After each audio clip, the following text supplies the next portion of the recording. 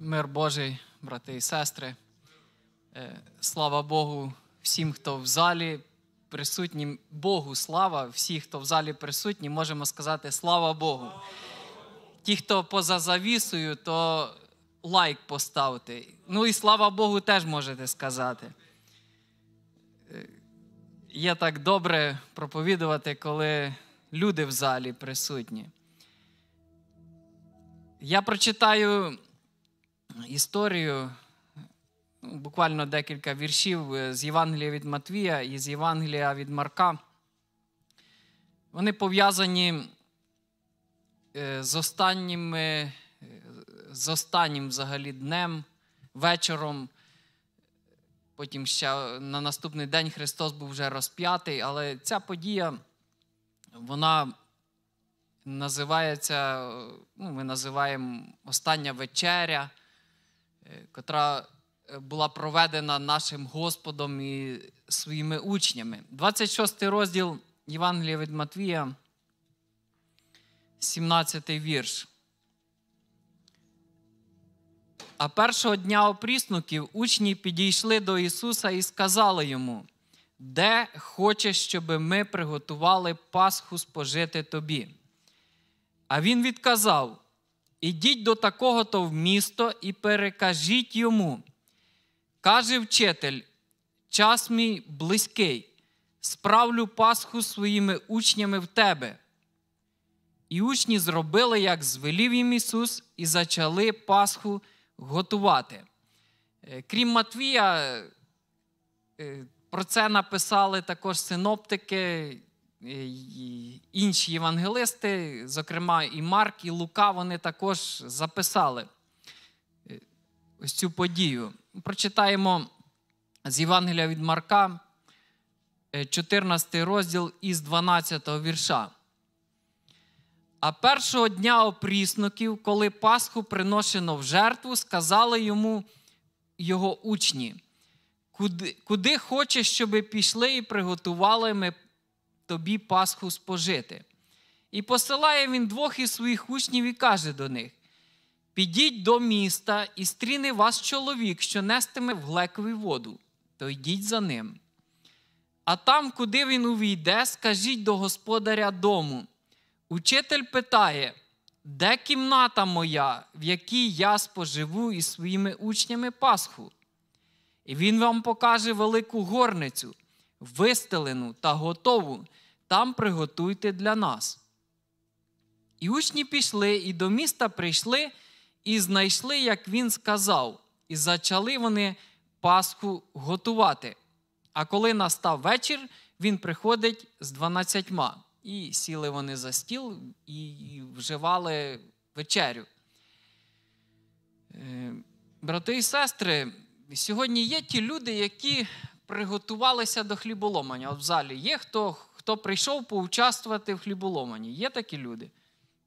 Є, є не, більшість все-таки в залі. Ми прийшли сьогодні е, брати участь в вечері Господній. Ми вже е, довший час не мали такої спільності. Ми е, хочемо мати спільність один із одним, із нашим Господом, спільність через видиму заповідь також.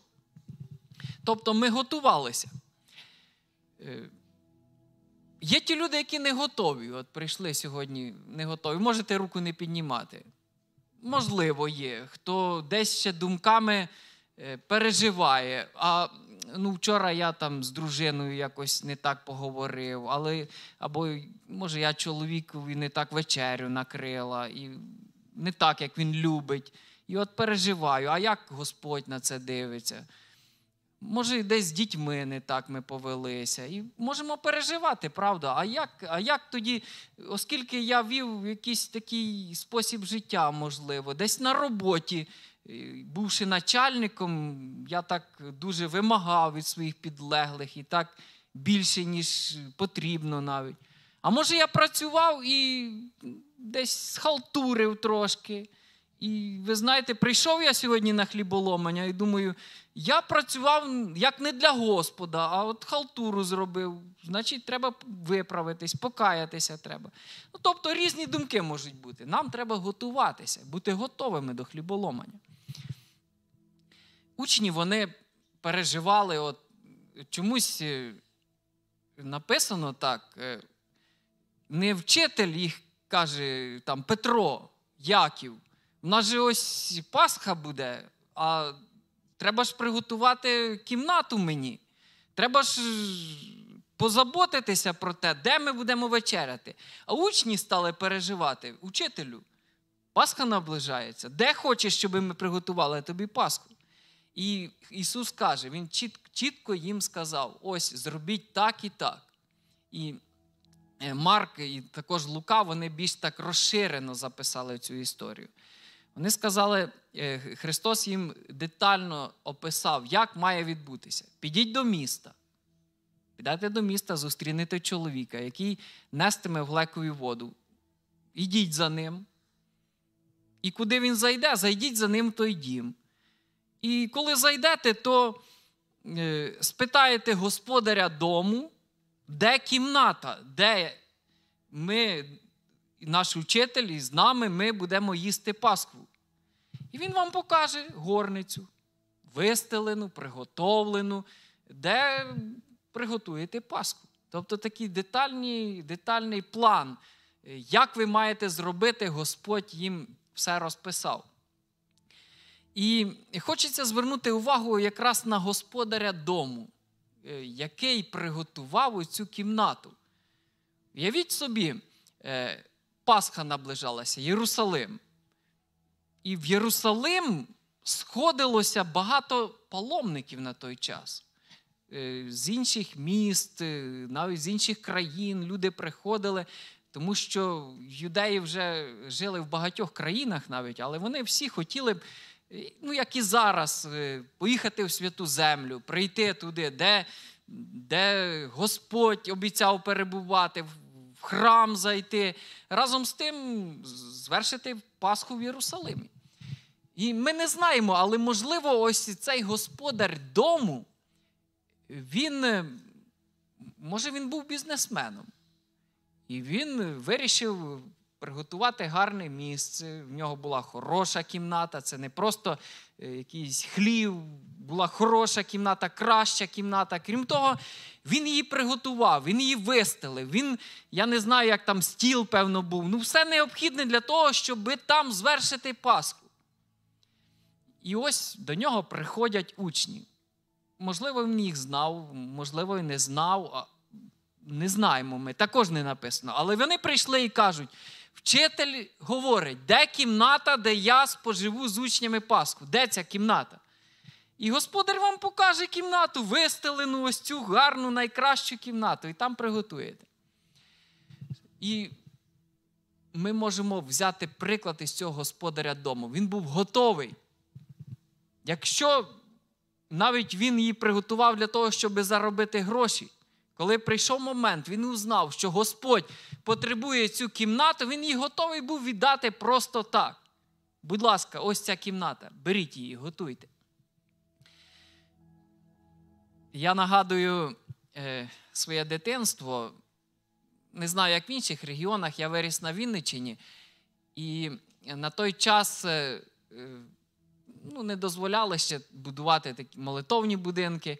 І віруючі люди коли будували свої будинки для прожиття, вони обов'язково будували кімнату для собрання, називалася. Кімната для собрання, для зібрання.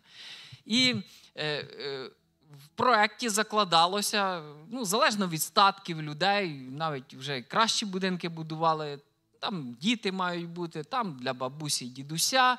І кімната для зібрання. Велика кімната, сама найкраща, вона була для зібрання. І там е, е, по порядку, от у нас так було, ну, не в одних людей збиралося, а по порядку е, тиждень в одних чи місяць, там, а можливо, через раз. І кожен хотів запросити до себе віруючих людей, де вони готували ось цю кімнату. І намагалися так в цій кімнаті зробити щось таке ну, краще, навіть ніж в дитячій, там, і де жили господарі дому. Там старалися кращий килим постелити кращі кращі стільчики поставити, ну як для Господа. І в, мої, в моєму домі, де я виріс, теж була кімната для собрання, для зібрання. Моя бабуся з дідусем, як будували хату, то вони одну кімнату виділили для зібрання.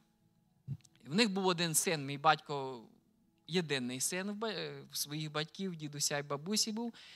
І ось вони так собі жили непогано, але батько одружився, і в них з мамою з'явилися ми. Я найстарший, потім я пам'ятаю, мій брат вже з'явився, потім ще один брат, всі так через рік, через півтора. І ми стали жити в цій хаті, а хата ну, не була великою. Кімната, де ми проживали, вона була прохідна, там е, стояла грубка, е, на якій, пам'ятаю, мій менший брат е, вигризав коників і слоників, поки мама народжувала ще одного брата. Потім вона вернулася із роддому, і брат мій хвалився: ось диви, мама, якого я слона тут вигриз. Він любив крейду їсти, а грубка була мазана глиною, і він там вигризав собі щось на тій грубці. Ось. Але е, е, була кімната для собрання. І уявляєте, і бабуся вона е, цю кімнату не віддавала для невістки. Казала, це кімната для собрання. Все. А ми такі вже ж тут підростали, троє, по-моєму, може, вже й четверо були. І нам тісно було в цій прохідній кімнаті. І моя мама вона стала відвоювати кімнату для собрання, для проживання. І вона її відвоювала. Ну, такими методами радикальними досить, але вона її відвоювала таки. І в кінці кінців вони з бабусею навіть помирилися, і було дуже добре. Бабуся з мамою вони останні дні, ну, бабуся останні дні проживала, дуже гарно вони з мамою жили. Ось, ну Я говорю про те, що є місце, де ну, люди хочуть, щоб там ну, Господь перебував. І ось цей чоловік він готував кімнату для Господа, для для того, щоб е, там е, Господь міг е, міг бути. Я вже перед тим говорив, не знаю, яким чином, але він її віддав для Господа цю кімнату. Він її готовий був віддати. Він це зробив. Учні там приготували Пасху, і прийшов Ісус Христос. І якраз в цій кімнаті була звершена остання вечеря. Е, дорогі друзі, брати і сестри, ви знаєте, в нас е, має бути місце для Господа. Обов'язково. Не просто місце, і взагалі Господь Він має бути господарем всього нашого життя. Ну і нашого повсякденного життя, господарем нашого серця. Треба віддавати його для Господа, наше серце, наше життя. Але відносно ось цієї історії, я ну, деякі думки ще хочу сказати. Е, господар, він готовий був прийняти Господа. Ну, цей хазяїн Ісуса. Можливо, він його навіть і знав. Можливо, він знав ті чудеса, події, які він звершив. І він готовий був прийняти ось Христа в свій дім. Але разом з Христом е, прийшли його учні. Христос же не сам прийшов. Прийшли, прийшли його 12 учнів, і Юда там був. Е, ми не знаємо цих людей, які вони були. Ви знаєте, це Палестина, жарко. Люди могли потіти, правда? Не всі ж такі там дезодорантами користувалися, як зараз, не знаю, на хліболомання йдемо так, щоб гарно пахло від нас. Але люди були різні. Уявіть собі, ось цю горницю прийшли люди з вулиці, можливо, з немитими ногами, е, можливо, з неприємним запахом. То цей господар він попіклувався про те, щоб в домі було все необхідне. В домі була вода. Була вода в домі там? Була, тому що Христос, Він е, в тому, в тій же горниці, десь там Він і ноги помив учням своїм. Тобто там була вода. Господар попіклувався. І е, удобствами його скористався не тільки учитель Ісус Христос, але його й учні. Якщо ми щось відділяємо як для Господа, ми маємо розраховувати на те, що е, тим самим можуть скористатися наші брати і сестри, нашою горницею, нашими удобствами. Десь е, нам прийдеться поділитися з нашими друзями, з братами і сестрами.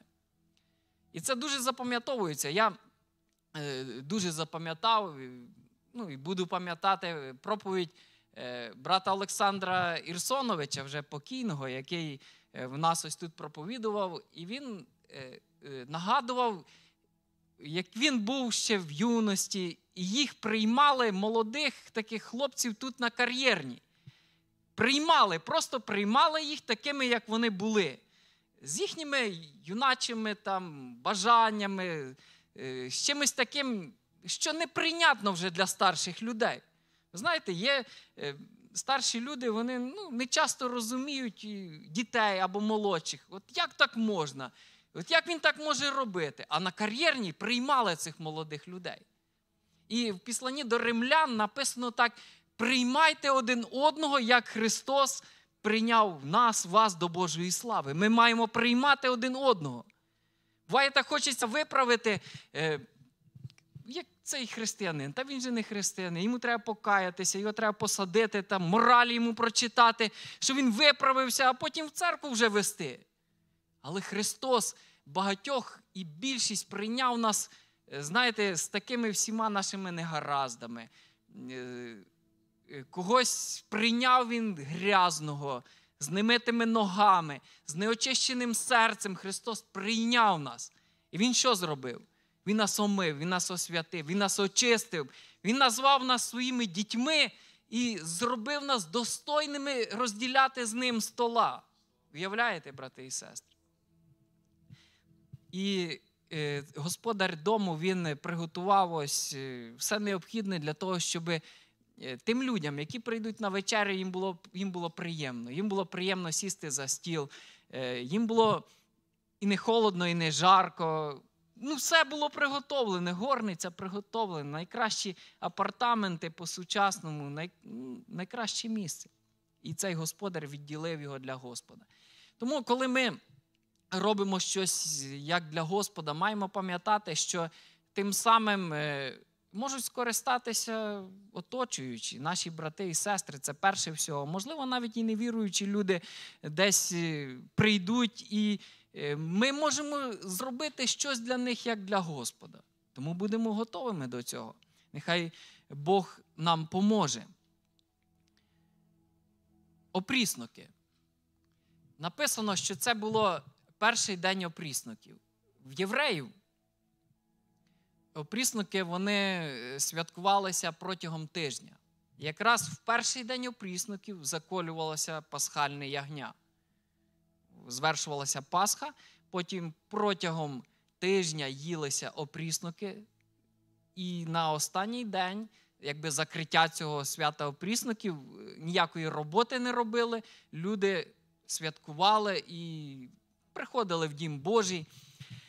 То я про що хочу сказати, е, євреї вони готувалися до ось цих опрісників. Яким чином?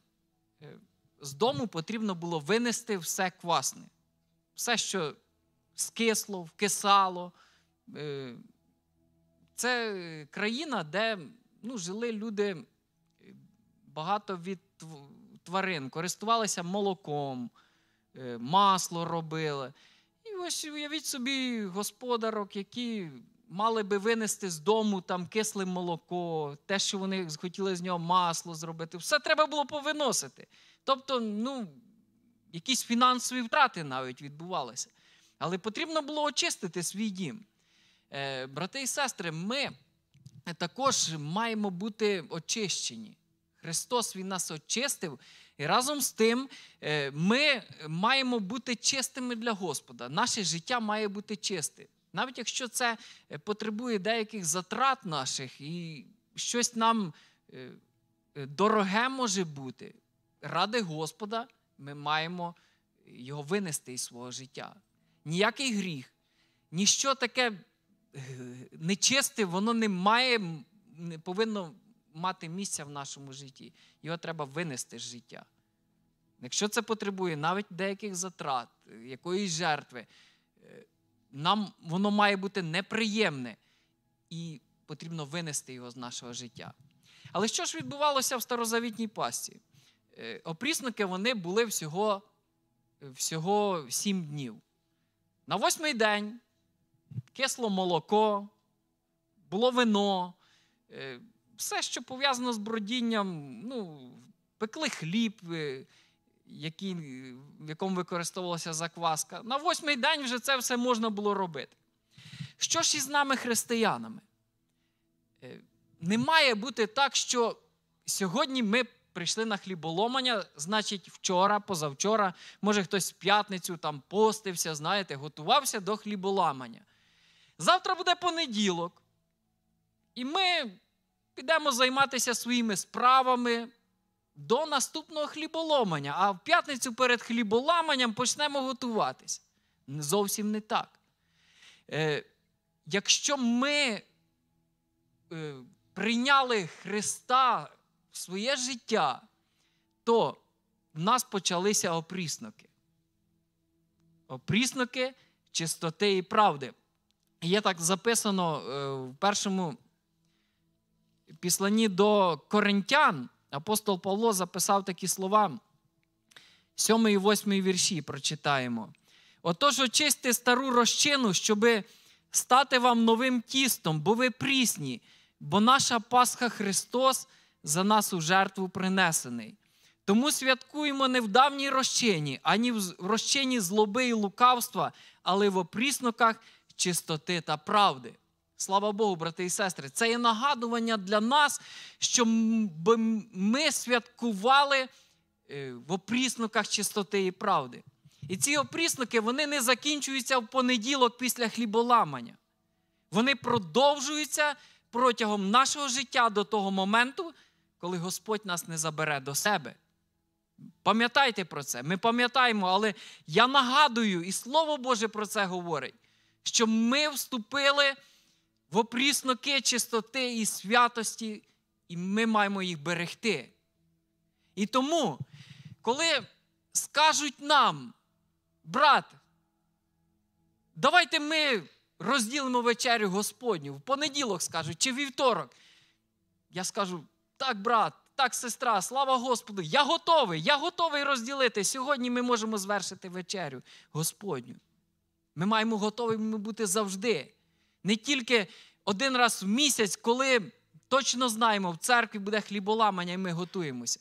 Завжди готові. Завжди готові. Можливо, в цій горниці навіть е, ну, десь трошки пил припав. Знаєте, буває так християн, що брат переді мною говорив, думки десь хороші закралися, десь щось. Але ми швиденько взяли ганчірку, витерли пил і все, готово. Горниця застелена. Господь, Він в будь-який момент може прийти сюди. І не просто сам, Він може прийти з учнями і звершити вечерю. Ось це є положення християнина. Ми маємо до цього виростати, щоб завжди бути готовими.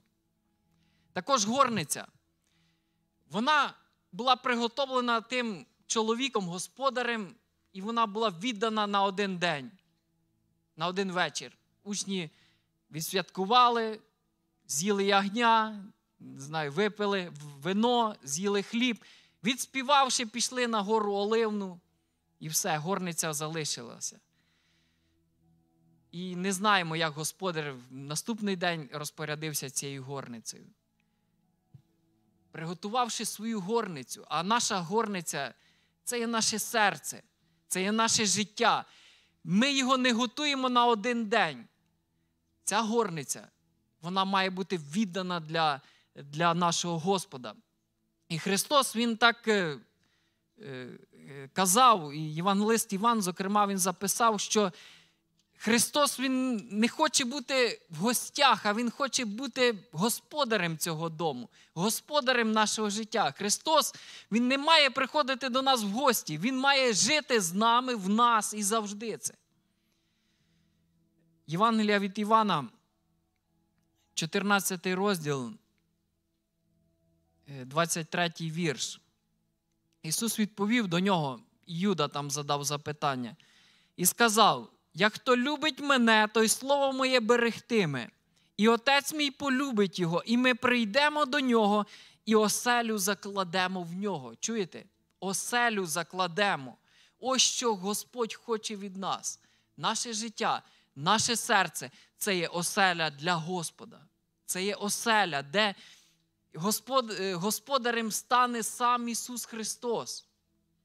Не так, що Ісус, сьогодні я тебе в гості запрошую, сьогодні я приготувався, сьогодні в мене є все необхідне, і водичка є, і килими випрані, попи- е, пилу немає, все добре. Сьогодні Христос приходь.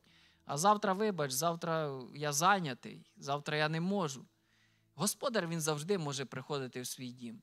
Тому нехай Бог нам поможе, щоб наше життя, наше серце стало оселею, де живе Господь, де йому приємно буде бути.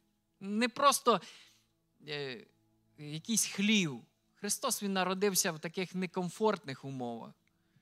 Але наше життя, воно має бути віддане для Господа. Все найкраще для нього. Ми можемо мати е, наше серце оселею для Господа. Навіть якщо ну, життєві умови в нас не дуже хороші. Ви знаєте, зараз в Києві багато хто е, орендують житло, десь якусь кімнатку таку ну, з некомфортними умовами. Матеріальні статки можуть бути невеликими. І ми скажемо, ну не можемо ми для Господа таке щось велике зробити. Можемо, брати і сестри, в будь-яких умовах. Наше серце воно може бути приємним для Господа. Воно може бути приємною оселею, вистеленою, приготовленою, де є вода, де є тепло, де є все необхідне, і ним може скористатися як Господь, так і оточуючі, наші брати і сестри. Нехай Бог нам тому поможе, щоб ми пам'ятали ось цього старозавітнього господаря, який приготував горницю, приготував оселю для Господа, він віддав її для, для Христа, але тимчасово. Але ми своє життя, свою горниці, свої оселі, свої серця віддали для Господа не на один день, а назавжди. Амінь, брати і сестри.